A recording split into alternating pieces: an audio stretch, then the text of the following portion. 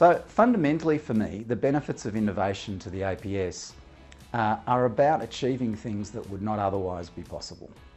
So innovation should be about delivering benefits to the community, uh, to our customers uh, in ways that we weren't otherwise able to achieve. An important consequence of doing that uh, is that it'll also build confidence uh, in government, uh, in the APS's capacity to deliver uh, with new ideas and, and new ways of delivering things too.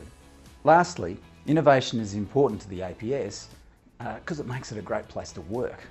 Uh, innovation means, to me, the opportunity to fulfil my potential, uh, to do exciting things uh, and to achieve things uh, for the public.